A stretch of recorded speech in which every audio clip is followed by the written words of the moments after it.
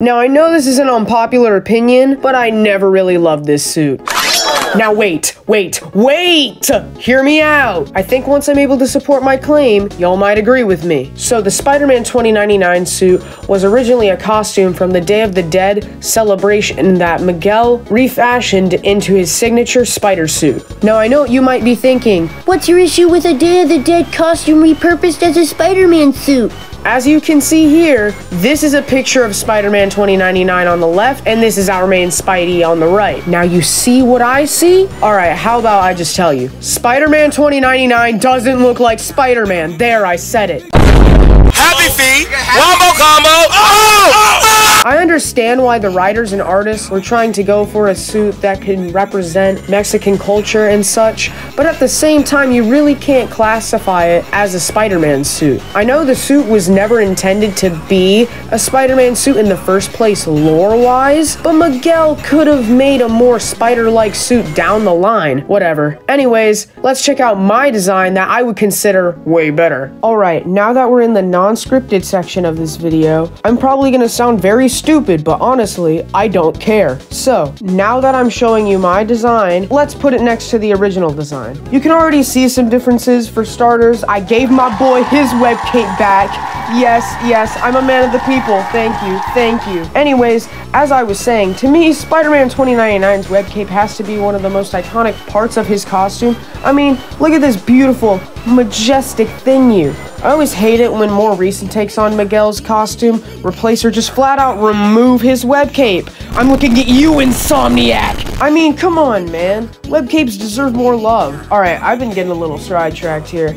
Um, what were you talking about? Oh yeah, my redesign. I decided to make the web cape yellow because I thought it would fit and I loved the unlimited web cape. Another big change I did was I made the arms uh, more fingerless gloves and the boots were more inspired by the Iron Spider suit. And I really wanted consistency between it because I hated how the original 2099 design always like dropped off with the colors near the middle of his body, as you would say.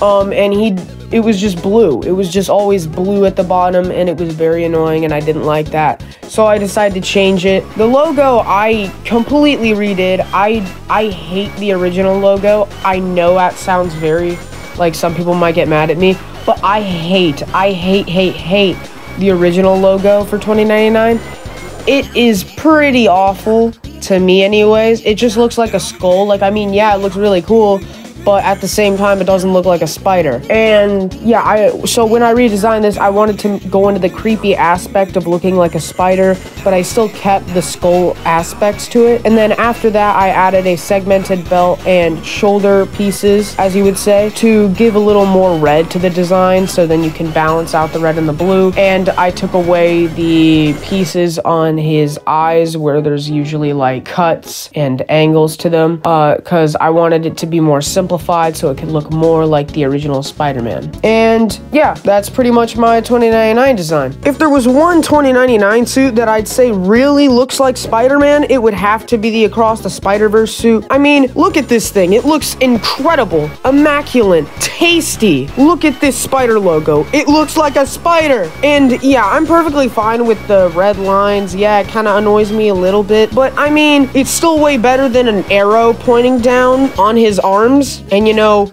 nothing for the legs. But other than that, this design is pretty much perfect. This costume can go with or without a web cape, honestly. This suit is so good, I love it. Welcome to the end of the video. I've seen that you made it through all the chaos. Um, yeah, another thing I'd like to say is sorry I've been gone for a while. Uh, let me check.